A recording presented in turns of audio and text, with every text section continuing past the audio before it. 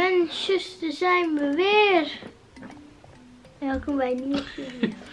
Vandaag is het een iets andere video. Het is geen weekvlog. Ehm, en dat komt, we hebben best wel een chaotische week achter de rug. Uh, door omstandigheden hebben we geen weekvlog, maar wel een andere video voor jullie. Ik ben namelijk met Selina. Wat hebben we gedaan, Celine? Wij hebben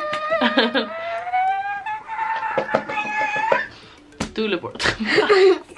Wij hebben onze doelen voor 2019. Um, ehm, ja, hoe heet dat? Je hebt er niet opgeschreven. Ja, maar gewoon de dingen die we willen behalen of die ik wil behalen. En ik vind dat dan ook leuk en belangrijk dat zij dat ook leert. Bijvoorbeeld bepaalde dingen waar ze voor wil sparen of wat ze graag zou willen in 2019. Ehm, daar hebben wij dus een doelenbord van gemaakt. Ik weet niet of je dat zo goed zegt of dat zo heet. Maar jullie begrijpen vast wat ik bedoel. Ja.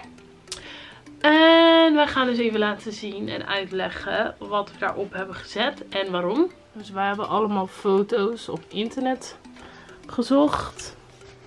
Hè schat? Mm Plaatjes bedoel ik. En die hebben we uitgeprint bij de kruidvat. En dat is echt heel snel gedaan hè. Zo is top.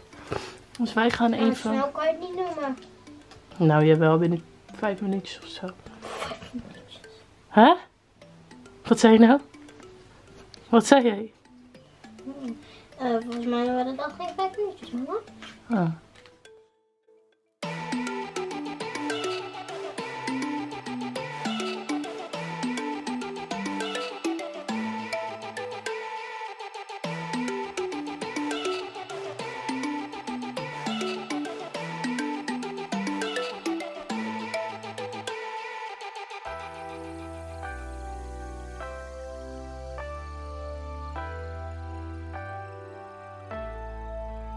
Oké, als eerst heb ik deze quote. Your only limit is your mind. Omdat ik heb best wel vaak dat ik denk van ja, dat gaat me niet lukken of wat dan ook. En als ik hier dan naar kijk, denk ik nee, als je zo denkt, dan gaat het ook niet lukken. Maar als je dus niet zo denkt, dan lukt het je wel.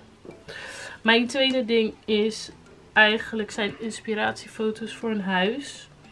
Ehm, ik wil heel graag dit jaar een ander huis. En dit is een beetje de stijl hoe ik wil dat het huis eruit ziet. Toppie.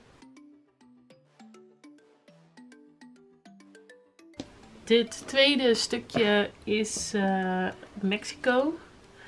Selina en ik verschillen daar een beetje van. maar ik wil heel graag weer een keertje terug naar Mexico. Ik heb een keer uh, op Mexico niet zo'n heel leuke vakantie gehad. Maar de plek was wel echt, echt top. Dus toen, ik heb altijd gedacht, daar wil ik gewoon echt een keer terug. Dit is eigenlijk, ik wil, ik heb op Insta heb ik nu dan volgens mij 74.000 en op YouTube 54. En dat wil ik, hoop ik dat het me gaat lukken om de 100.000 aan te tikken dit jaar.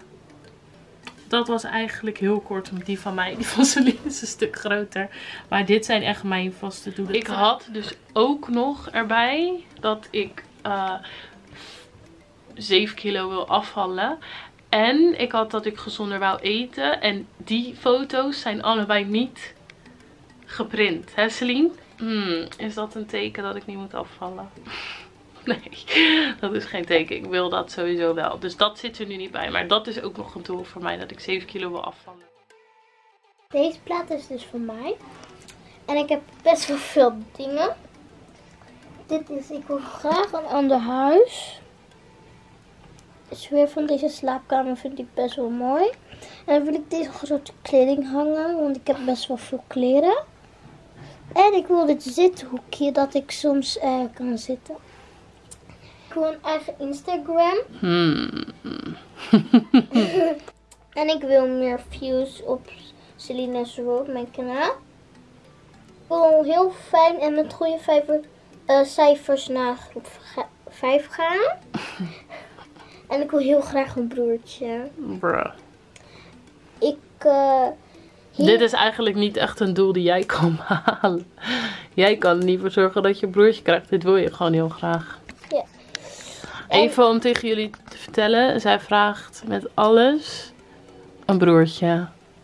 Als uh, met de kerst mag ik een broertje. Met Sinterklaas mag ik een broertje. Elke keer als ze iets mag vragen, dan vraagt ze om een broertje elke maand één boek uitlezen. ik wil heel graag sparen voor een nieuwe fiets. En ik wil heel graag naar Curaçao toe. En waarom wil je dat? Omdat oma zei dat wij naar Curaçao gingen. Oma gaat er heel vaak naartoe. Ik vind het water hier wel heel mooi. En die gekleurde huisjes ook toch? Ja, die vind ik ook wel heel mooi.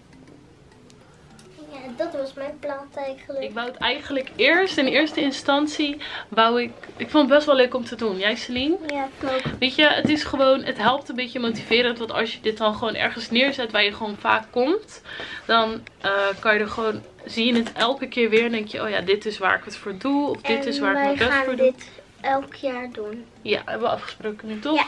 Elke keer januari gaan we dit doen. En ik heb trouwens de lijsten gewoon van de Action. Ze waren volgens mij 4 euro zoveel, maar echt maar 5 euro. Ik wou eerst wou ik... eh, Maar misschien zijn ze niet elk jaar.